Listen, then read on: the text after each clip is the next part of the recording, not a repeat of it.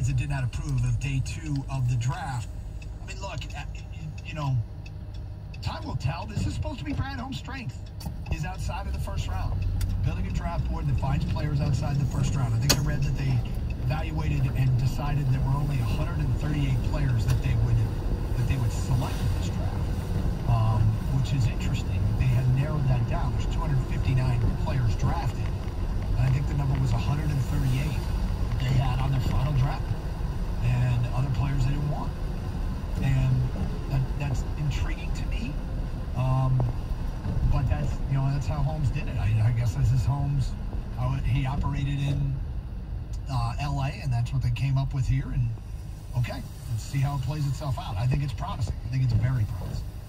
Well, I think the, the one that is surprising is that Owusu Koramoah slipped as much as it did, and you know for all pre-draft stuff, it, it's it's always interesting what after the draft is done how narratives change. We're looking for reasons why things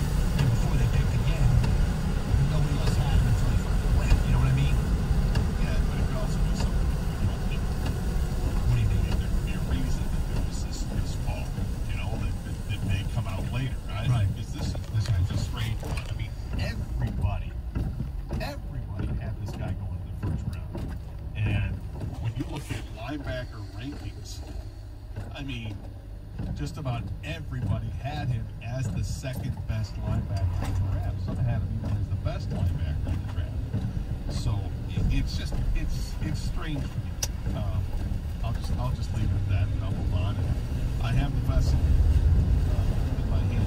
Okay, so bring it up on Twitch for people who get your. Hey, Look, I brought it up during our draft night show. Maybe it was Cameron brought this like or not. But that wasn't when you made the shoot the boot guarantee. It was on the show Friday, right?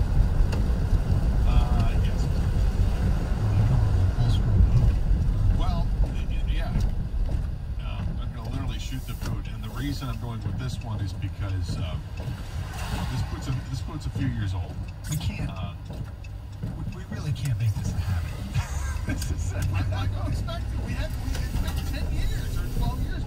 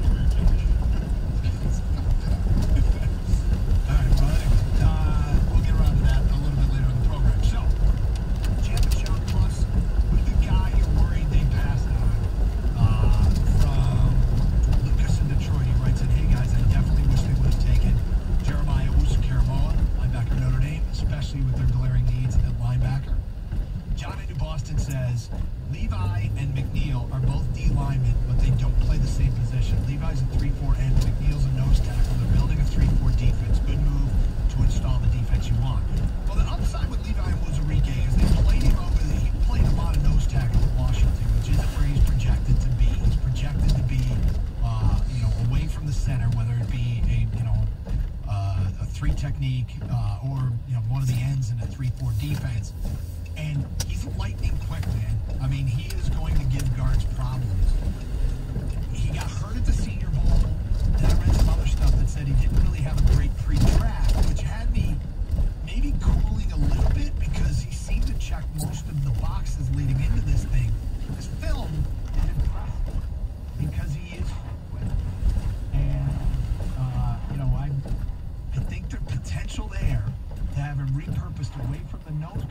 where I think Onwuzurike could be a great, great player.